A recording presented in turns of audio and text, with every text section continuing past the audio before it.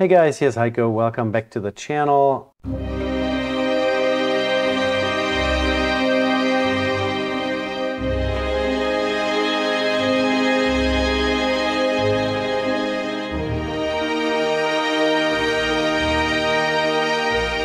Um, you see a watch in front of you and you might be wondering, what is he doing now?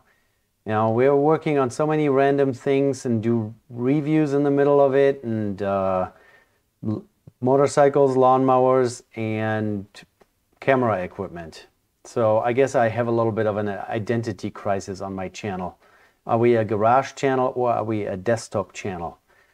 Anyways, um, I've been watching, I've been consuming a lot of uh, watch repair content on YouTube, and I'm really interested in that topic. Um, you know, I like to tinker and I like to work on mechanical things like cars, motorcycles, and usually I I seek out the vintage versions of everything. That's why I have a 1974 uh, BMW motorcycle and a 1977 VW bus that I haven't touched in a long while. Um, I like mechanical stuff. That's why I work on simple things. And watches are very mechanical, most of them at least. And um, it's a really attractive hobby. It, it takes a little bit of some patience um, there's lots of uh, tinkering potential on watches. Um, it can be relatively expensive, at least to get started, to buy all the tools and uh, supplies, oils and finger cots and whatever you need to um, do a good job in restoring or repairing an old vintage uh, watch. But even vintage watches are relatively affordable as long as you don't want to buy a Rolex or an Omega or a Heuer or you name it. There are some brand names out there that are definitely out of reach for me. Um, but until I have my watchmaker setup completed with all the tools and supplies that I need, uh, why don't we start with a couple uh, simpler jobs and get all the watches running that I already own and um, take you along for the ride. So here in front of me is my first victim. It's been sitting in my watch collection box for a while.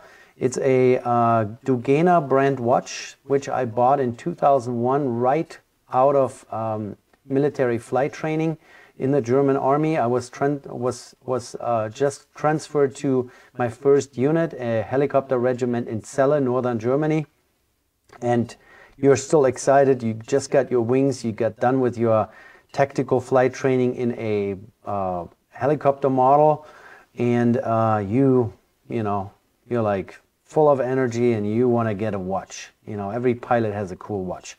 The German military actually provides a watch for uh, their pilots. So I had a, uh, a military pilot watch, which, which was actually a really old Heuer watch, hand wind. I wish I would have been allowed to keep it. Uh, really big timepiece. It's a chunk on your arm. It's heavy. Uh, but you know, I would kind of get tired of the hand winding all the time. And it was really beat up and scratched up. I guess a hundred other pilots had worn this before.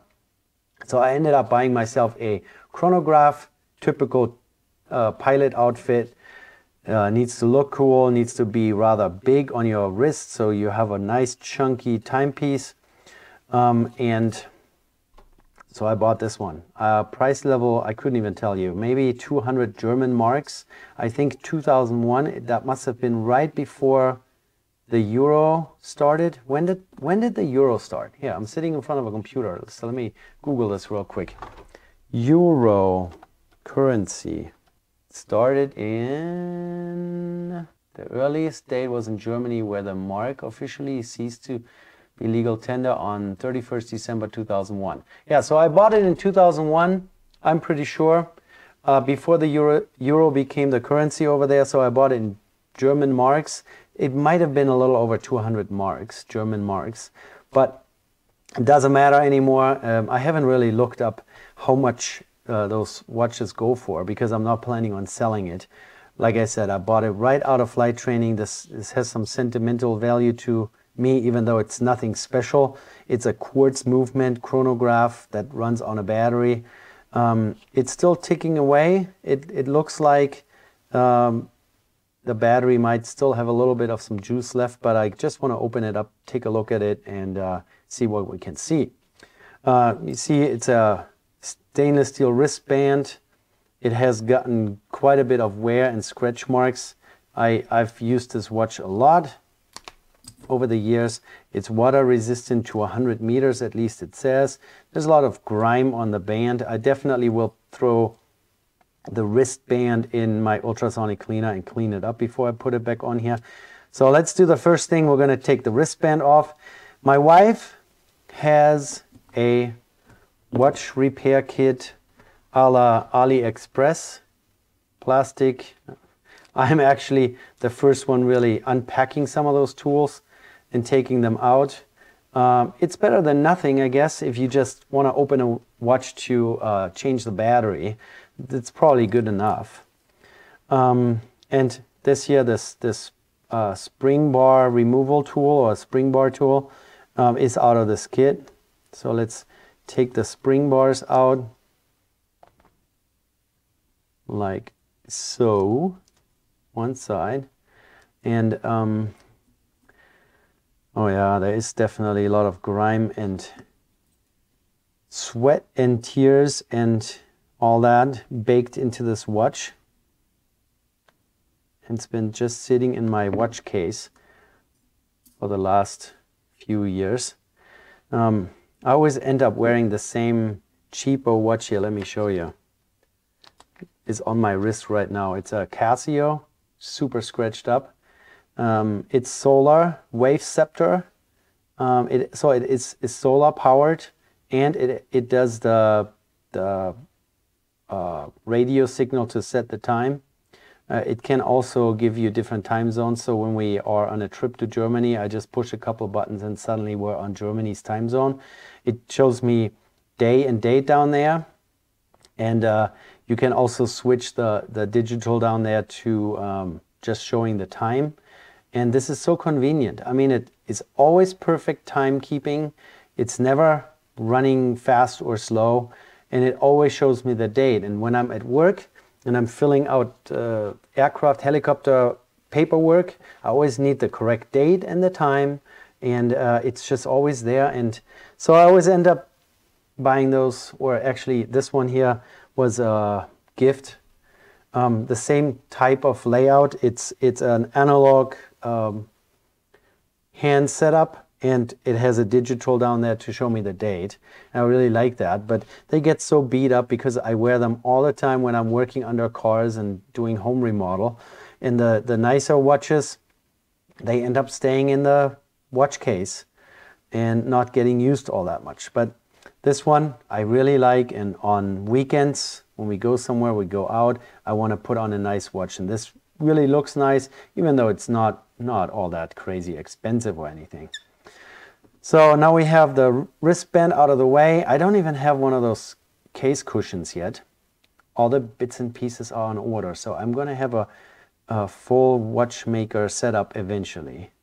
Um, I don't have a time grapher yet to test the accuracy of a manual or automatic watch, but that's all eventually going to come. We also don't have, I don't even have a loupe yet to really take take a closer look.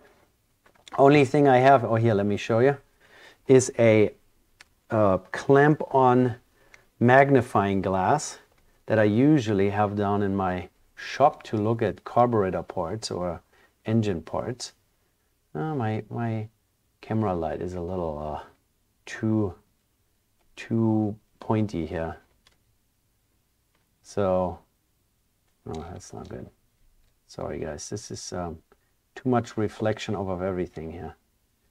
But I can, I can at least magnify a little bit and take a look at the markings. So let's move this out of the way.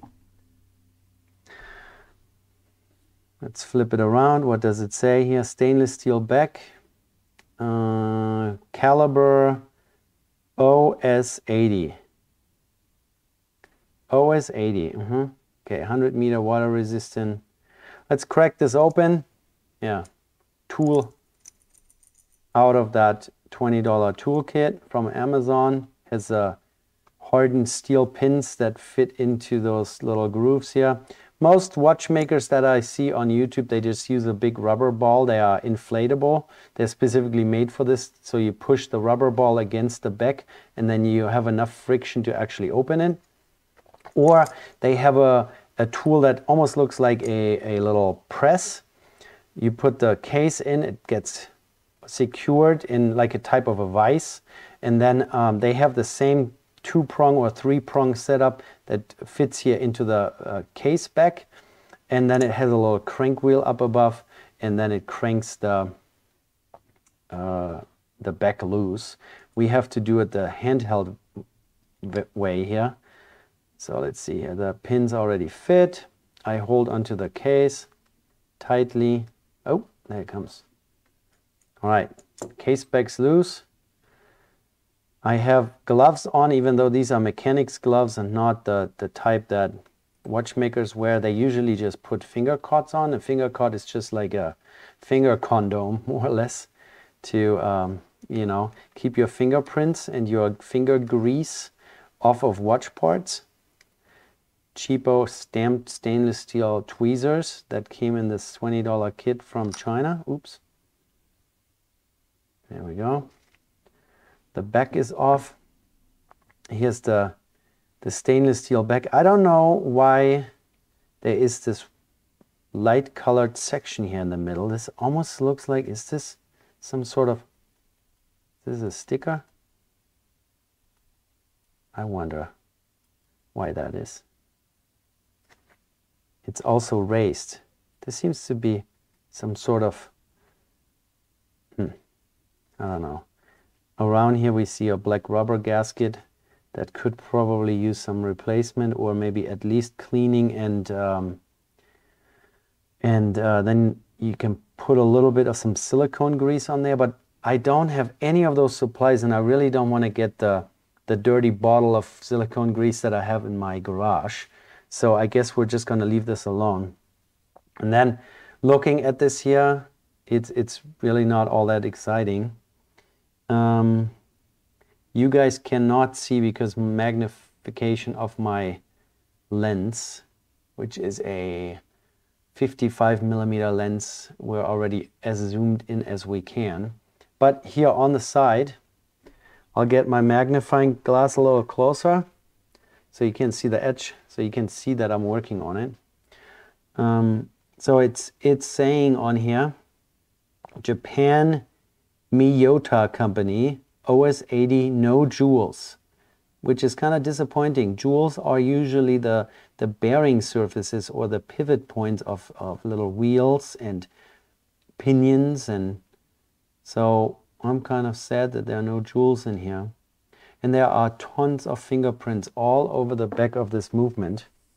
It is really um, kind of sad to see this. So whoever was in here, and there might have been a family member involved that changed a battery for me, grabbed everything in here. So there are fingerprints everywhere.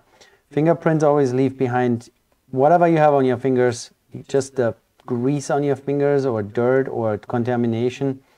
And uh, you definitely don't want to do that. That's why you either wear rubber gloves or finger cots and preferably the clean ones.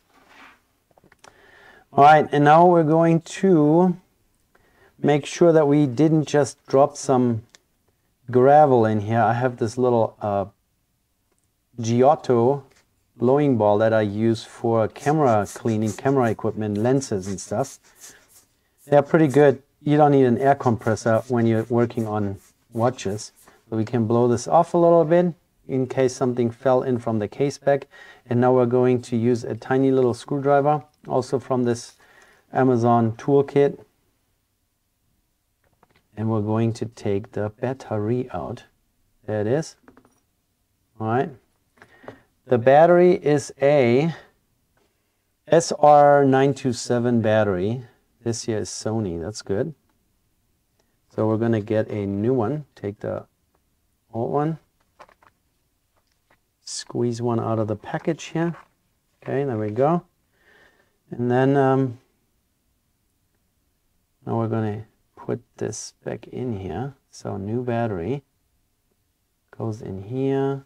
Since I do have finger cots gloves on. I can, I think I can push on this battery with my finger. There's just this tiny little, tiny little latch here on the side that holds the battery in place. Yeah, SR927 Sony in a Japanese uh, Miyota. Let's see, I'm, I am online. So let me do a screen capture real quick. Window capture. Okay, so we have tons of pictures of the of movements that have nothing to do with it. Here's manuals plus. Let's visit that page. This is a Astrovia. I guess different watch brands have used this movement over the years, and it gives me the setting manual description, uh, how to change the battery, display buttons. Uh, OS 80. okay, I guess they don't have an OS 80 movement in their catalog. Even though here is a, a manual webpage that Universal Masterpiece Born in Japan, Made in Japan, Instruction Manual for Miyota Watch Movement Caliber number OS 80. Okay, I guess yeah, at least I, I learned what I need to learn about push buttons, but I already knew that. So let's turn the window capture off, remove that here. Yes, there we go. So we're back at the watch. We just slapped a new battery in there. Um, let's clean the watch back a little bit. So I don't have any of the cleaning supplies that I um, ordered for my watchmaker career, but I do have lens cleaning solution, which is made by Zeiss for camera lenses. They are made out of metal and glass. Um, and so I'm assuming that if we give this a little bit of a scrub down with this lens cleaning solution and let it dry off, uh, we can also clean the gasket while it is in place here. Or maybe maybe let's take the gasket off and then uh, maybe we can uh, we don't want to pinch it we don't want to damage it. Oh here we go. Oh yeah there is there's grime in the groove. Let's take the gasket out. There. Put it over there. Put a little bit of lens cleaning solution on it. This is the closest to proper that I can find. None of the cleaners that I use in my garage are applicable for watch cleaning, for sure. But um, I, I just want to make sure we're not shoving gravel into the into the watch movement, even though it's a quartz movement, and a lot of those things are hidden from sight, so there are not that many mechanical parts in there. I know that a quartz movement can also be lubricated, that there are pivot points that need some lubrication, but I will research that a little more. Make sure I get a Miyota OS 80 instruction manual. Maybe I have to email them and ask them. Maybe it's a uh, discontinued model. Yeah, let's let's do the same with the gasket itself. So I'm just going to put this on on my little microfiber rag, give it a like I said, this lens cleaning solution should be um, gentle to all surfaces because it, it's used on camera lenses that also have gaskets, they have glass, they have different types of metals, um, oftentimes aluminum and stainless. Brass is also, so watch and camera has probably a lot of parallels in the mechanical aspects and the electronic aspects even. You know, tiny little um, printed circuit boards, tiny little electronic components. So cleaned up the watch back and the gasket. We're going to reuse the gasket, of course. I don't have a replacement. Yeah, we could put some silicone on there. I just don't have any. I mean, not, not anything that I would want to use for. I have dielectric grease, which is silicone based. Um, all right, let's take my rag here one more time. Just go around the edge here. Okay. So I think it's seated correctly.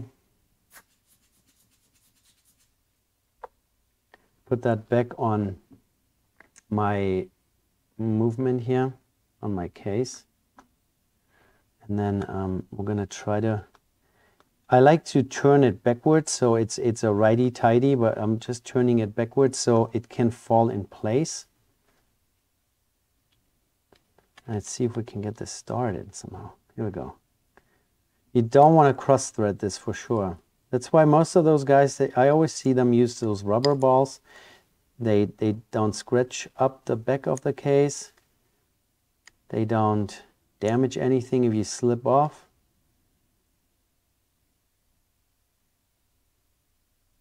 I think that's tight enough. So now the problem is, all right, let's see. This has a start stop function and the hands, and let me get a pointer, this little hand is showing 1 20th of a second. This is supposed to be at noon right now at 12 o'clock. The second hand up here is also supposed to be at 12 o'clock.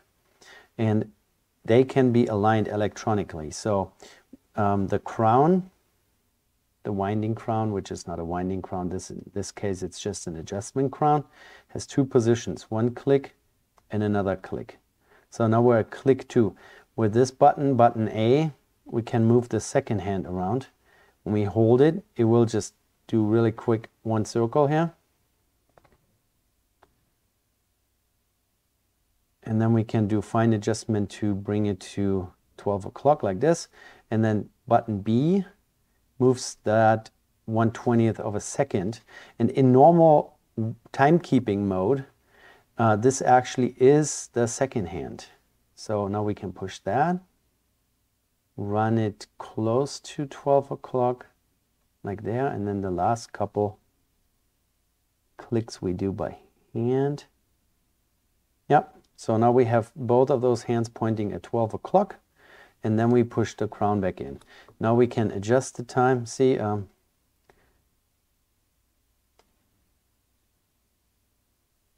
there then with position one we can set if you spin it clockwise, you can set the alarm timer hand. This alarm timer hand, you just go um, to three o'clock, pull, this is, here's button, button C. If you pull that out, uh, this little red hand down there goes to the on position.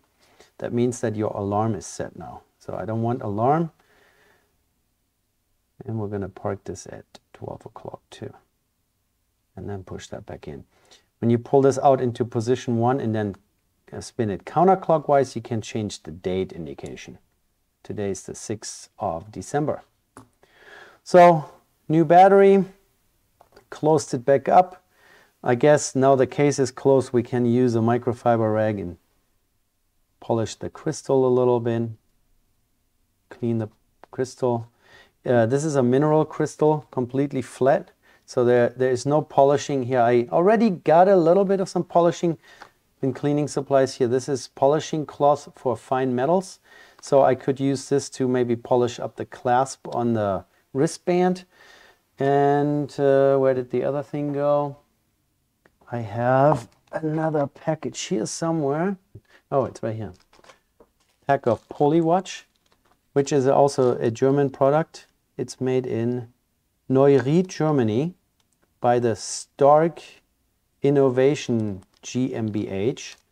Uh, this is to polish up um, acrylic crystals. So if you have a watch like I'm wearing and has tons of scratches on it, you can use Polywatch to get some of those scratches out. But yeah, on, on real mineral or sapphire crystals, you can't do anything with that. You have to replace them. This one here is in pretty good shape. Mm, I'm not sure. It might have gotten replaced at some point. We, we used to have a, a family friend who was a proper trained, German trained watchmaker for decades.